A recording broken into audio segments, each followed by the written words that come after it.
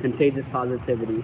Welcome to my page. This is my platform, my stage. Positive thoughts prevent the rage. Anger release from this cage. A place when we're, where we could be at rest. When we're happy, we feel blessed. Relax like a cool breeze on your chest. Organize inside when everything else is a mess. Plan for your next move like a game of chess.